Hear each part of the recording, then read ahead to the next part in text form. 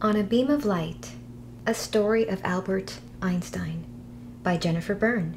Pictures by Vladimir Radunsky. Over 100 years ago, as the stars swirled in the sky, as the earth circled the sun, as the March winds blew through a little town by a river, a baby boy was born. His parents named him Albert. Albert turned one year old and didn't say a word. Albert turned two and didn't say a word. Albert turned three and hardly said a word at all. He just looked around with his big, curious eyes, looked and wondered, looked and wondered. His parents worried. Little Albert was so different was there something wrong? But he was their baby, so they loved him, no matter what. One day, when Albert was sick in bed, his father brought him a compass, a small round case with a magnetic needle inside. No matter which way Albert turned the compass, the needle always pointed north, as if held by an invisible hand. Albert was so amazed, his body trembled. Suddenly he knew there were mysteries in the world, hidden and silent, unknown and unseen. He wanted more than anything to understand those mysteries. Albert started asking questions questions at home, questions at school. So many questions that some of his teachers told him he was a disruption to his class. They said he would never amount to anything unless he learned to behave like all the other students. But Albert didn't want to be like the other students. He wanted to discover the hidden mysteries in the world. One day, as Albert was zipping through the countryside on his bicycle, he looked up at the beams of sunlight speeding from the sun to the earth. He wondered what would it be like to ride one of those beams? And in his mind, right then and there, Albert was no longer on his bicycle, no longer on the country road. He was racing through space on a beam of light. It was the biggest, most exciting thought Albert had ever had, and it filled his mind with questions. Albert began to read and study. He read about light and sound, about heat and magnetism, and about gravity, the invisible force that pulls us down toward our planet and keeps the moon from floating away into outer space.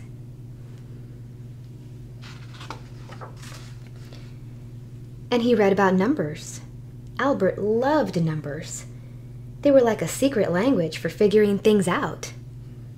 But all that reading still didn't answer all of Albert's questions. So he kept on reading, wondering, and learning.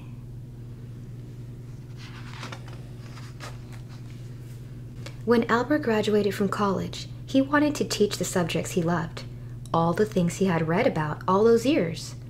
But Albert couldn't find a job as a teacher, so he got another job.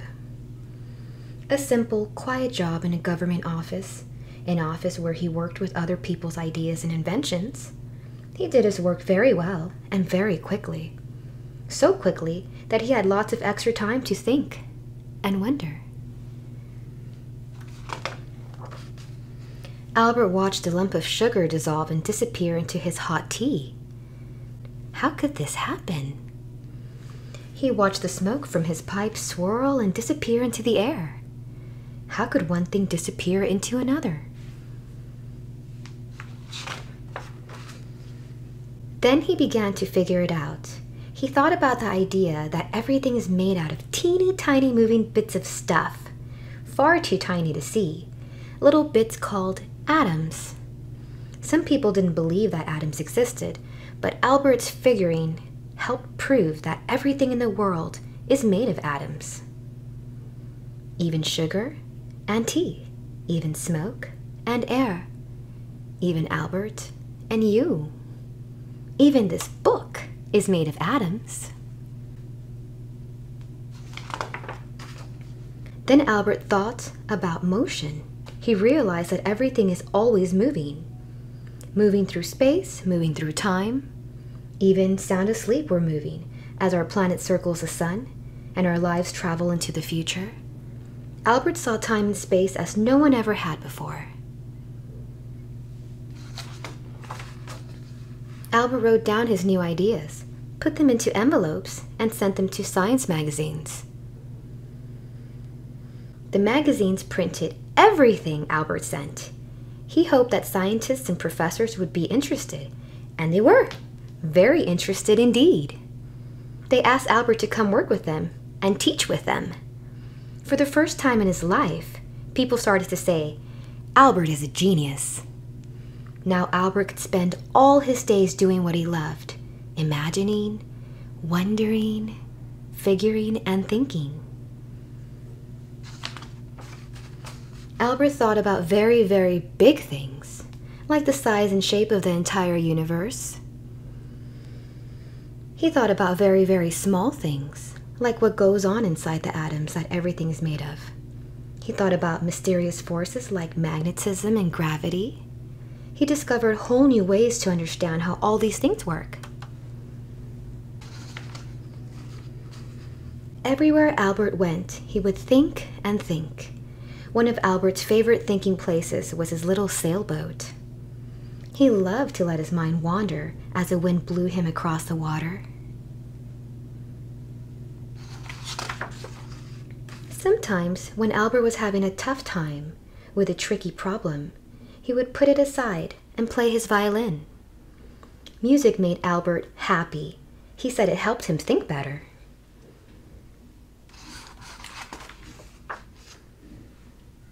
Albert even chose his clothes for thinking.